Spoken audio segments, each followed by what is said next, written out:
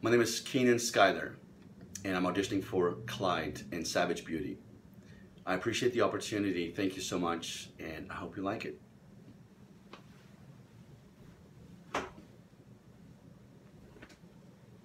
Nice of you to finally join us. Yeah, John and I went to discuss my new contract. Did you forget about the appointment?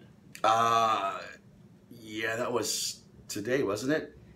Yes, it was. Could have really used your support. The doctors keep saying she's deformed. Do you think she is? No, haven't noticed. I just do not see what they do. I look at her and she is so perfect, don't you? Um, let me fix you a drink. Not around the baby. Can you just take the night off from drinking tonight? Yeah, I could. So why don't you? Come on. What else would I do? Well, you could take care of your daughter for one. You do a great job at that. I'm not that good at it.